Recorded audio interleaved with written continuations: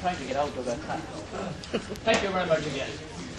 Uh, now we have some time for questions, discussions, opinions that you'd like to test against Salomon's, uh, should I say, categorizations and synthesis, etc. But the best way to do it would be send me an email. I will respond. Within a week or two.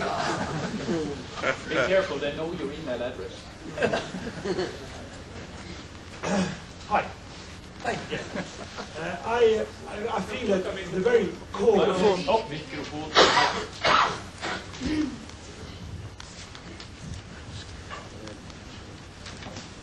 David, Yeah. uh, I feel uh, that uh, your, your heart message from your veranda is uh, the uh, insistence on the uh, distinction between uh, trans- uh, information and, and, and knowledge. Uh, according to this, and also according to, I, I know you, you are interested in, in the concept of, of distributed uh, cognition. And uh, according to this, can you say something about the, the concept of, of knowledge uh, transmission and knowledge building? What is it? How do you define it? And what does it involve? Knowledge building and And knowledge. knowledge transmission.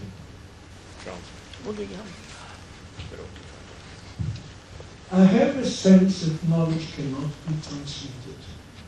Why do you use the term knowledge transmission then? Uh, I don't, oh, or let's say, yes, I do, but that's the common daily usage. Okay, you know, there's the daily usage of term and the scientific usage of term. And sometimes it's the same term, okay, the word intelligence. You use it in daily life. That was an unintelligent comment you made. Okay, you say about somebody. You don't mean intelligence in the uh, Guilford or Sternberg or Howard Gardner sense. Uh, so here we say knowledge transmission, but when we talk about it more accurately, I'd say knowledge cannot be transmitted, information can. If it becomes knowledge, you are the one who turns the information into knowledge. How do you do it? That's the whole secret of learning, of meaningful learning. I cannot in one sentence state it. Okay? It is making connections to knowledge you already have. It is elaborating what has just been stated or what appeared on paper. It's a very complex cognitive process, which uh, many, I mean, it's, if you know the literature about uh, co- uh, reading comprehension. What is reading comprehension? What is comprehension? Okay? And there are mountains of, of, of literature on it because this little thing, and many people don't comprehend it. Okay? What I want to say is really the move from knowledge, from information to knowledge is a very complex one. We can point out, as I try to do, the external conditions which may be necessary, okay, but never sufficient. Uh, for this transformation, like tutorship, like community, like face-to-face communication, but they don't exhaust the list and they do not describe the cognitive processes that are involved. What about knowledge building then? Knowledge building and knowledge construction for me sounds the same.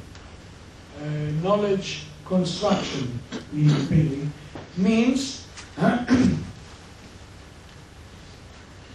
my interpretation is creating or widening a network of connections between different information elements. And the meaningfulness comes with the network. So if you take a single item, Haifa had 350,000 inhabitants. Doesn't connect to anything, it's a bit of information, not knowledge. But once you begin to connect it to numerous other things, okay? It's a third largest city, it's a port city, it cannot grow because of Mount Carmel, you name it. Suddenly, this piece of information gradually is built into a piece of knowledge, and that means it begins to be a part of a network. Network of all kinds of connections causal, correlational, father son relationships, before after relationships, etc.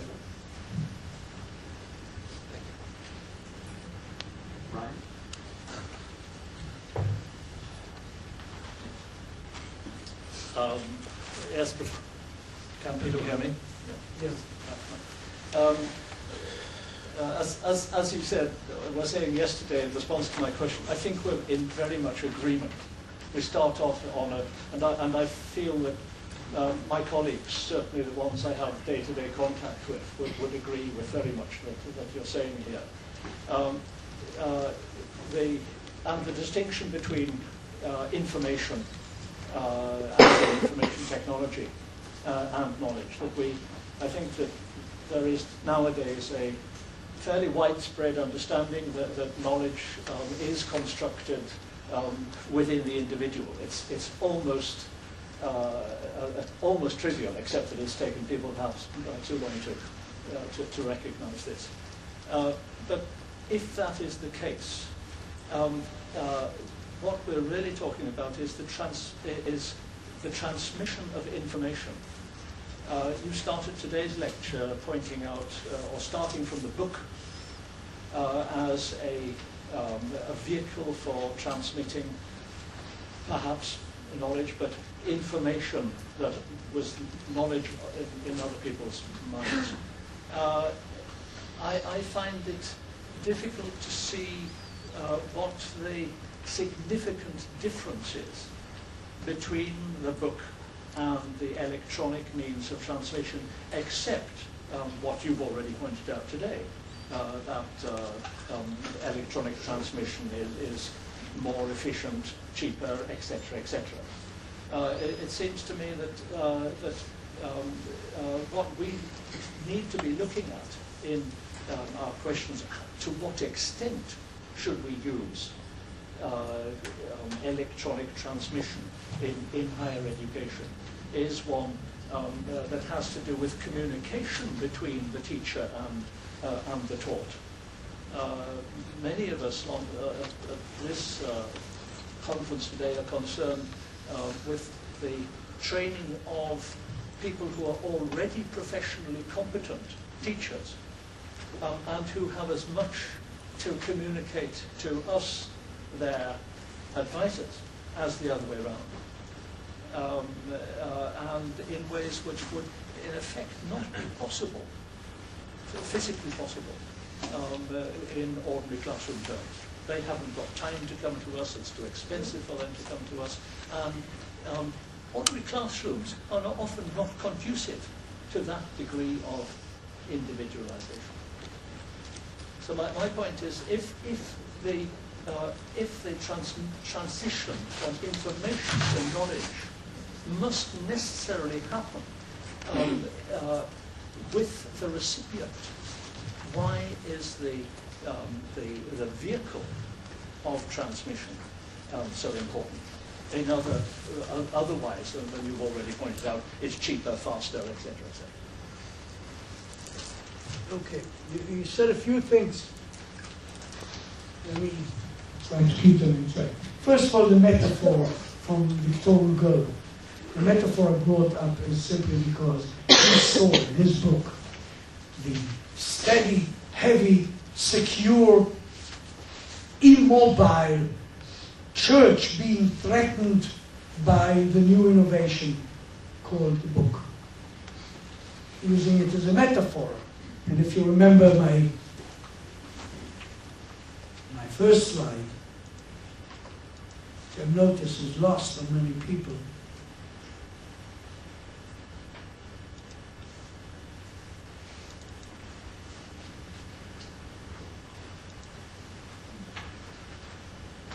Can you see the meaning? There are little boats down there. Will they come out from the wave alive? Or is it the last we have seen of the boats? Okay? So that's a metaphor. So we have two metaphors. The Japanese painting and uh, Victor Hugo was both a question mark. Will the one thing destroy the other? And yes, there is a danger. Okay, that's one point. That's the reason I mentioned the book in the church. The second, though, is you ask a very good question. Namely, if everything depends on the learner to construct knowledge out of the information, what difference does it make what means through what means does the information reach the individual? First of all, it does make a difference. And uh, uh, for 30 years I've studied some of the differences. The envelopes, the envelope of transmission makes a huge difference in terms of the meaning, the content, etc., of the message itself. So it is not McLuhan to the extreme. The medium is a message, but a little bit softer McLuhan, the medium influences the message. When I say McLuhan, I guess many here below the age of 70 don't even know whom I have in mind. I see a few gray heads saying, yes, yes, we do know. Okay. McLuhan was the guru, the god of communication in the 60s and did some very interesting scholarly work, none of which stands up to scrutiny, but it's still exciting. But your other point is the following. Oh, okay, that point, let me elaborate. I talked about the conditions, not the structure of the message of the medium, but the conditions under which information can become knowledge.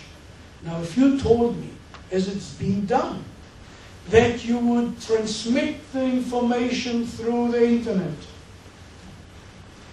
sorry, and your students would meet once a week for a discussion group, that would be providing an external support facilitator to help them transform the information into knowledge. Okay? And in that case, you might say whether the information reaches them through a book in the library, through the screen, okay, or a lecture, that may not be the important thing. The really important thing is the conditions created for the transformation from information to knowledge. And that may be an example of a good integration.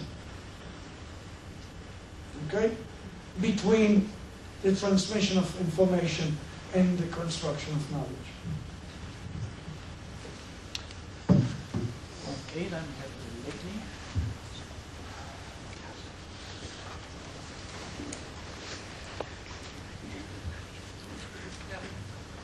Geir Knølheim from uh, Oslo University College. Uh, I'm going to uh, go into another metaphor because you also use the restaurant metaphor. And I'm not sure that I'm very comfortable with that. Because you had breakfast. we had it before breakfast or before dinner. Yes, but I think you use the metaphor to say that uh, there are um, um, somehow on-campus education is the, like the French restaurant and distance education is like the McDonald's. I never go to McDonald's, so. Um, I think that uh, on-campus education is and distance education is good for different uh, purposes, and that uh, on and it's not a matter of quality. I think that on-campus education is better for the for the basic professional education, without any doubt, because of uh, what you talk about, uh, um, what you call um, socialization and uh, training of skills. And that uh, distance education is a very good alternative for uh, further professional education, adult education, um, and also the, the um, democracy aspect that you mentioned. But then you have to put efforts into um, um, to assure the socialization and the skill uh, aspect. And then the challenge is to to develop um, tools for cooperation over distance. And that's our challenge. And that's what we, we work to. Yeah. Okay. Okay.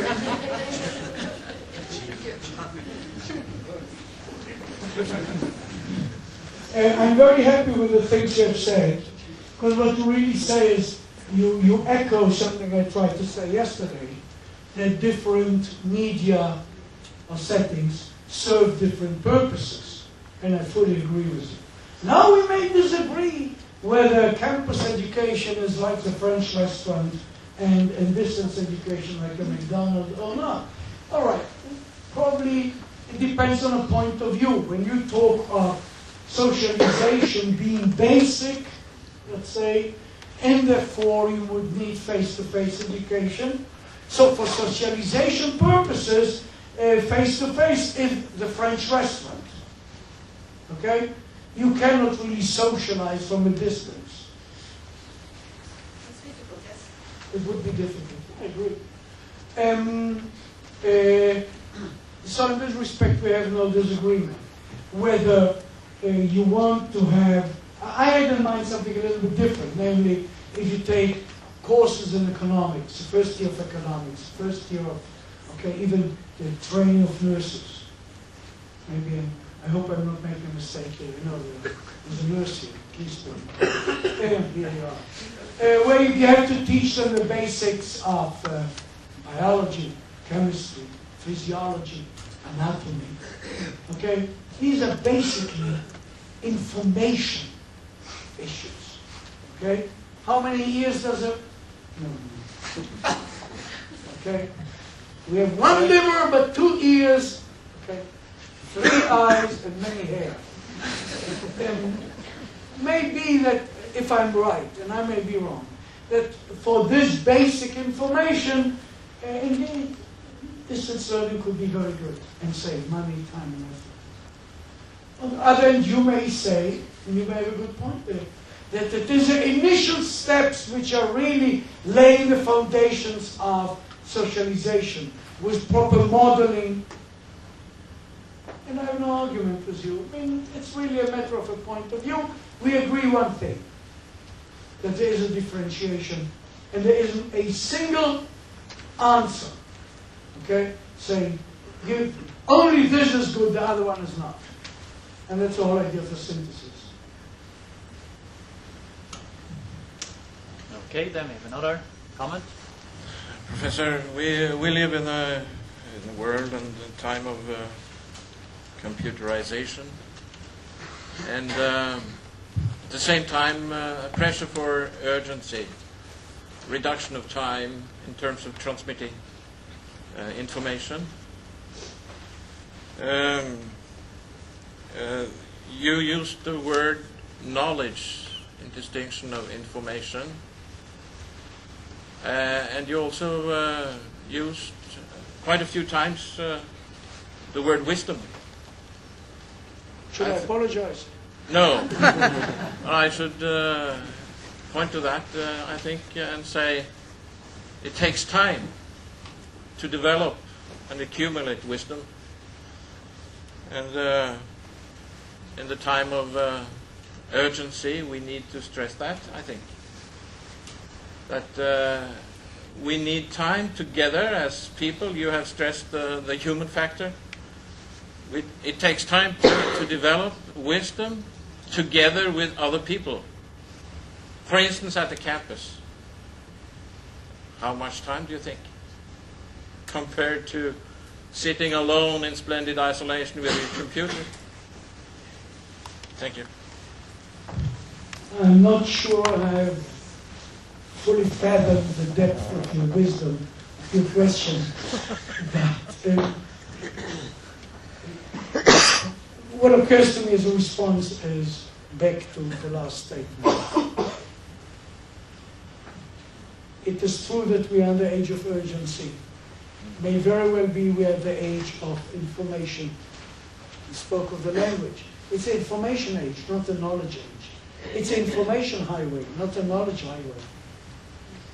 It may be that we in education should say, wait a minute,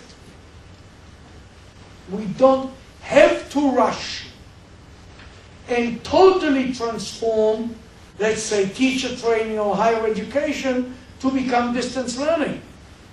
We want to reap the best of it when it is appropriate, for whom it is appropriate, the stage of development of teachers, when this may be the most appropriate time, and there is something to debate, discuss, and think about. Okay? Um, on the other hand, saying we are the age of urgency. And now everything needs to be half time and quarter time. Over breakfast we mentioned, I mentioned that 1981, I remember I had a modem of 300 baud. And that was fast enough. I didn't need a modem of 54,000. I didn't even know what that was. Now that I have a modem of 54,000, what on earth am I doing with the time that I've saved? I have more emails. Okay, my point is, and, and, and I'm not tired of stretching it. We do not have to accept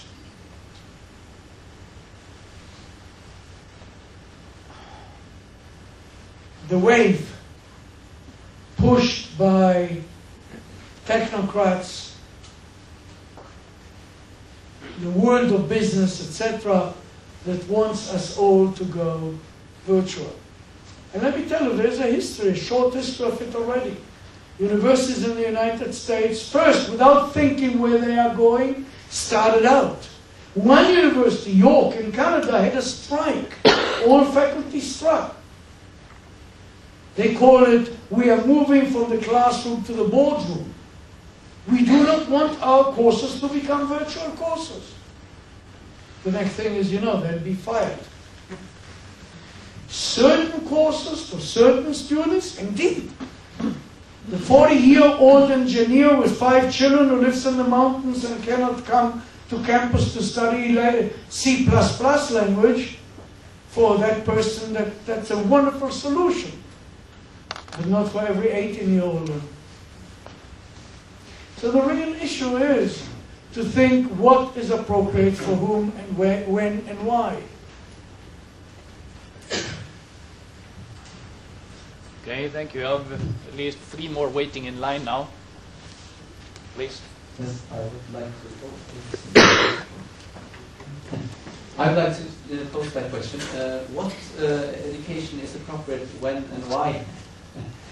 Which is this question I, I'm, I'm quite sure you, you're not going to answer because it's it's a too, too, too abstract question. But that is what is interesting in the next phase now, having heard your two very inspiring lectures.